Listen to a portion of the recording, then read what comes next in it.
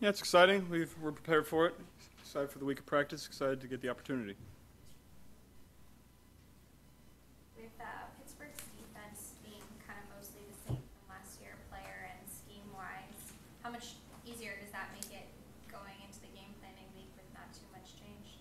Yeah, anytime you play a divisional opponent, you feel like you know what to expect, but you know they might have some wrinkles for us first game of the year, so I'm sure they'll they'll have good game plan for us. Well, it's a good test for your offensive line, given how good that front is, especially with Larry on the other side now. Yeah, one of the best fronts in the league. Good test for us week one. What do you know about your line now, Joe, that you didn't know four, six weeks ago? I wouldn't say anything. I mean, I know I knew what we were gonna get when we came into camp. I knew the kind of guys we got in free agency and guys we drafted. So I'm excited about them. They're tough, physical, smart players that are gonna help us. Why do you think Ted Karras is He's a vocal leader, brings the energy every day. You know what you're going to get out of him every single day in practice, and I expect I know what, what, what I'm going to get on Sundays. Can you describe uh, Joe Mixon's importance to the offensive line? And that's where it all starts in the running game. Across the whole league, every offense wants to establish the run so you can open up the play action and get teams out of their two high looks. So, you know, that's where the offense starts with him. Do you anticipate seeing more two high, especially early in the year? We'll have to see. I know we got really good receivers. That's how teams played us the last half of last year. We'll have to see, you know, how teams are going to attack us this year. Do you have a favorite part about like the build up to, to like the last few days before one? Is there something that maybe you're, where you enjoy or look forward to when this time of year rolls around for you? It's relaxing. You know, you, you, you know the work you put in throughout the week, and then when you get to, you know, after the last practice on Friday, going into the walkthrough on Saturday, you feel very relaxed, confident in the game plan, and confident th- about the work you put in throughout the week. What was it like going through? Was that Ohio State game? Was that the first time you've been back since you left for a game? Correct. Yeah. What was that like to be back in there for you know after all these years to be back there for a game specifically? Yeah, it's fun to see everybody that I played with. You know, I spent spent three years there and had a lot of relationships that with coaches that are still there. You know, some of my best friends played there, so it was good to see everybody. Did you meet LeBron? Did not. Do you want to meet LeBron? I would like to. Yeah. Joe, I know you said uh, you, you assumed by this past weekend you'd be 100% or close to it. How do you feel right now? Feeling really good. Throwing it the way I want to throw it. Hit all my speed numbers. been stronger in the weight room. Feel really good.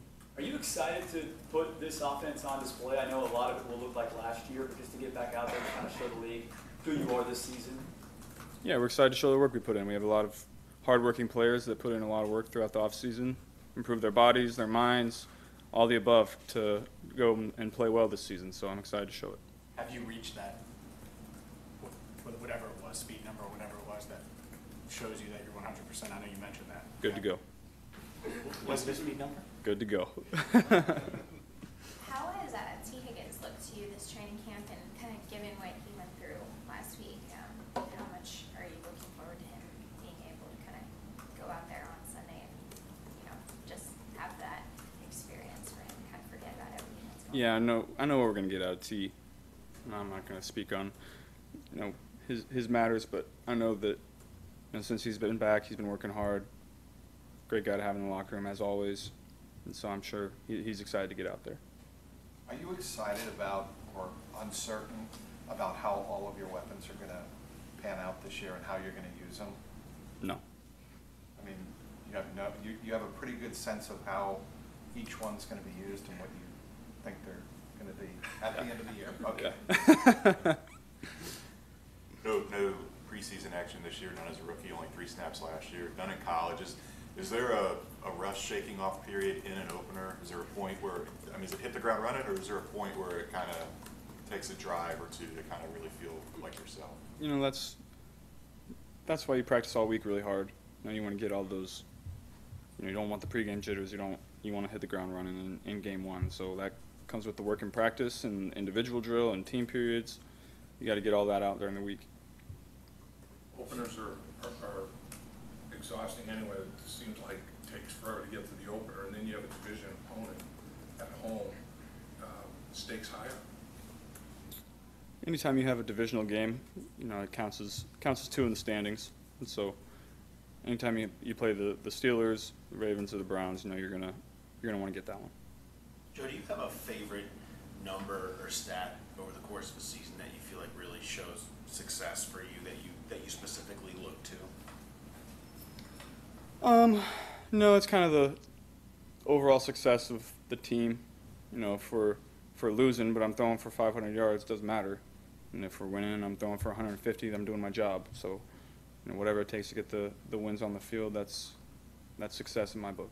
Do you feel like you you took a step when your turnover worthy plays and interceptions were so far down in the second half of last season? Did you feel like you took that step last year and see that as kind of the player who you will be from that point forward? And was there something that helped spark that for you? I wouldn't say there's anything that helped spark it. I think I just started understanding what it takes to, to win in the league. You know, every game calls for a different Joe. You know, if our defense is playing great, I got to protect the ball. We got to run the ball well. You know, take the opportunities when they're there, but don't don't push anything. If you know they're scoring a lot on the other other side of the ball, I might have to take some chances. If we're not running the ball as well, I might have to take some chances that maybe I wouldn't otherwise in in a different game. So, just every game calls for something different. How big were the games against Denver like that, Tennessee? Yeah, those. Kinda just gotta take care of it for, from an experience standpoint. Yeah, I mean, we had we had tons of games like that where uh, maybe I throw for under 200 yards, but we end up coming out on top because we protected the ball and our our defense is playing great. So every game calls for a different style. Just kind of following up on Paul's question about how you said every game is a different Joe. How long does it take you to kind of figure out which kind of Joe you're going to have to be and what type of game that you're going to play? Is it early on in the first quarter, halftime? Like when do you kind of realize, all right, I know what type of game this is going to be? About a quarter, a little less sometimes. You can kind of tell. Do you have a favorite Joe? The one that throws for 530 yards. That's all. Is it right in the front of your mind, the worst performance you've ever had in a win? Do you, do you remember that? no, I can't think of that. I could find it for you, but not off the top of my head. Have you ever talked to Volson about your North, about your North Dakota days? I know you were a little kid, I don't know. Mentioned it. Mentioned it. Haven't. I mean, we talked about it, but nothing. Nothing crazy. So what's your impression of him now is yet, I know you've talked about him before, but now he's on the, on the verge of going out there against, uh, against those guys. And, uh, you know, what's your sense of him? excited to see him play. You know, he puts in a lot of work. Um, he's earned his spot. Goes out there and practices really, really hard, and then comes back and studies really, really hard to come back the next day better than he was the day before. So I'm excited to see him play. And I think I know what I'm going to get out of him. He's going to play really hard, tough, physical. He's going to make mistakes, rookie mistakes, as as with any rookie offensive lineman. But you know, I'm excited to watch him. Like last year, it feels like we asked you a lot about Baltimore's defense and what makes them so challenging to go up against, but specific to Pittsburgh's defense and their scheme, what's them, what, what makes them a challenging unit to go up against?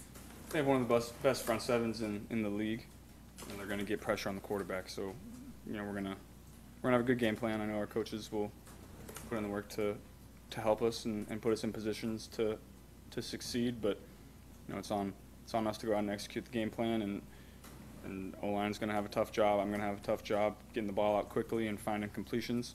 Uh, that front is good.